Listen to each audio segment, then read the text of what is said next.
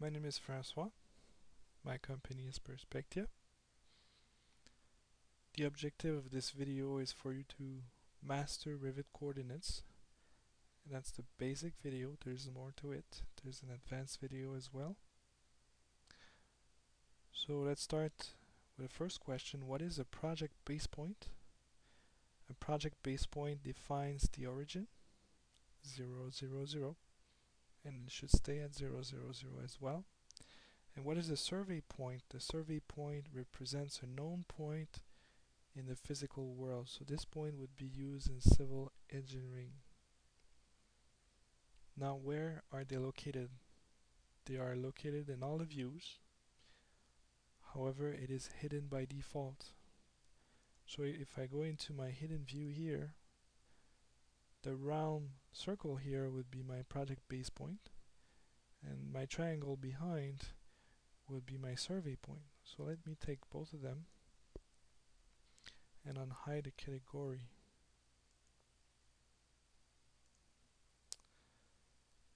So how can I use them?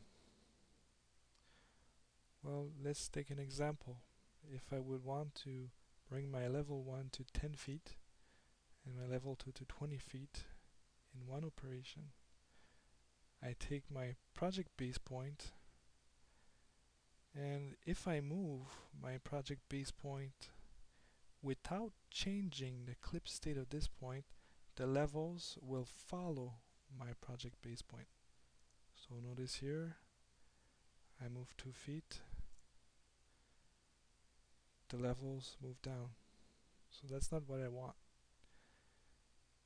I take my project base point, now I change the clip state. And I would enter here my elevation as minus 10 and notice here my level that how it will change. Now the project base point went to minus 10 feet and the level 1 become became 10 feet. What is a project base point? It defines the origin 0 0 0 so the elevation here should be at 0 how can I fix that? Well, I changed the clip state here to how it was originally. I take my survey point here. Notice that the elevation is zero. The survey point will drive the position of my project base point. If my elevation here is at zero, it is normal that my project base point is minus 10.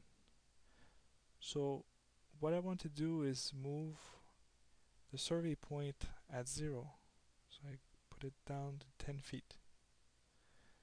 Now my survey point is at 0 and if we take the project base point notice that the elevation came back to 0 what I want to do is filter and pick the survey point. And notice the clip here. When I will click on this clip, the properties will become available. Notice. Now what I want to do is I want to put my survey point. And remember what it was. It's a known point in the physical world. So this would be usually at level 1 on the site level so I would put it at 10 feet then I would change the clip state back to its original position. So my survey point is at 10 feet. That's my known point in the physical world. My level now is 10 feet. That's what I wanted to do. And my original point, my project base point, is at 0. So hopefully this video will help you to master the Revit coordinates. And if you want to know how to modify the position on a plan view and as well use share coordinates, this will be in the advanced video.